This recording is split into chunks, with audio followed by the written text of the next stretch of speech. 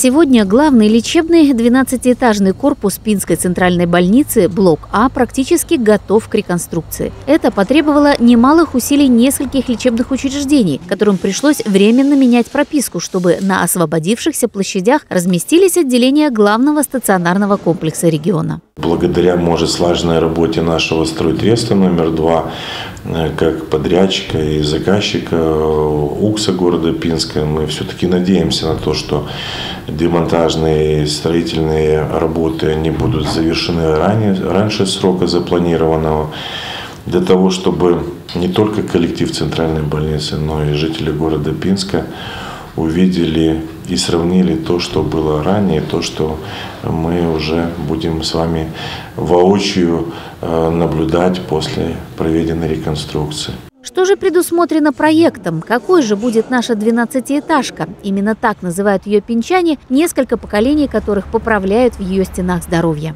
идем в ногу со временем и внедряем передовые технологии э, при реконструкции. Это и обратную связь пациента с медицинскими работниками. И мы, в принципе, эту технологию внедрили при строительстве инфекционного корпуса, то есть пациент, находясь на своем койко-месте, может без проблем вызвать э, средний медперсонал, врачебный персонал, Предусмотрено и еще одно новшество – уникальная система кондиционирования. И мы с проектантами нашими обсуждали установку сплит-системы. В каждой палате будет подведена вентиляция с кондиционированием и охлаждением палаты, помещения для более комфортного пребывания. Реконструкция подразумевает и оснащенность новым современным оборудованием, которое будет установлено. В адрес заказчика УКСа мы подготовили техническое задание на закупку в рамках реконструкции лечебного корпуса эм, позволю себе сказать, тяжелого оборудования. Тяжелое в плане на дорогостоящее, это оборудование высокотехнологичное. Мы с коллегами проработали вопросы в плане установки нового оборудования в операционный блок.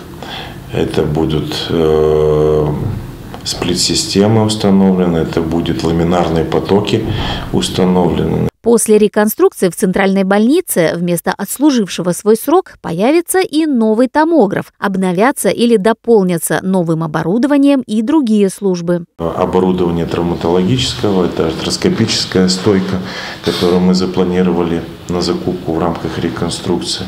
Это микроскоп офтальмологический для выполнения высокотехнологичных операций. И этот список можно продолжать. Все будет сделано в соответствии с новыми современными нормами и требованиями, которые сегодня предъявляются к практикующей медицине. И пусть все это у нас получится. Благодаря огромным средствам, порядка 150 миллионов рублей, выделенных облсполкомом и государством, жители региона получат еще одно стационарное учреждение высокого уровня качества оказания медицинской помощи. Мы будем счастливы. И вообще скажу, что Город Пинск как никогда, наверное, принимает усилия, местная наша власть исполнительно на систему здравоохранения.